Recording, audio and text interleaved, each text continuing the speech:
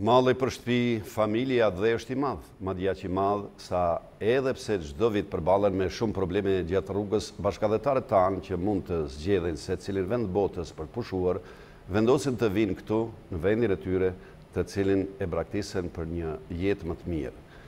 Ilustrimi është i thjeshtë. Për tri javët e korrikut përmes aeroportit të Prishtinës hynë njëqind e tridhjetë e dy mijë persona, kurse u realizuan një mijë e treqind e pesëdhjetë e shtatë nisje ndërkombëtare me autobus të linjave ndërkombëtare. Rruga për në vendlindje shpesh nuk është e lehtë, thonë mërgimtarët të cilët të hënën po hynin në Kosovë në pikën kufitare në Merdar. Rruga e gjatë e pritjet në kufi, biletat e avionit shumë të shtrenjta e probleme të tjera, janë disa nga shqetësimet e tyre që kanë çdo vit.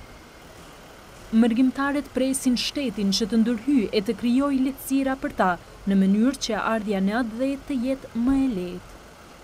Linjat tokësore vijmë shumica prej neve që e dimë që domethënë ndoshta është një çmim pak më i lartë, domethënë se me makinë me ardhë, po sido qoftë me domethënë me me kerre, domethënë po na duhen edhe këtu të me shfrytëzu këtu ose ose po duhet me huazu.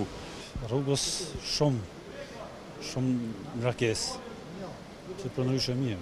Po tiketat e aeroplanit janë shumë shtrajt. Jem vetë i pesti, kështu që ia vlen me me kerr ma mirë.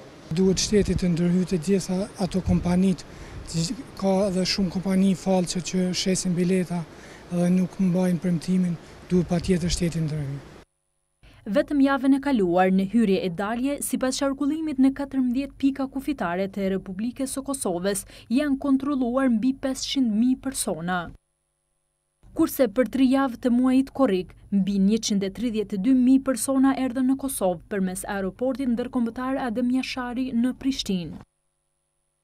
Ndërsa Luan Hoti, kryeshef ekzekutiv në Stacionin e Autobusëve në Prishtinë, bëri të ditur për RTK-në se në bazë të të dhënave që posedojnë gjatë periudhës nga një deri me njëzet e pesë korrik dy mijë e njëzet e një janë realizuar një mijë e treqind e pesëdhjetë e shtatë nisje ndërkombëtare.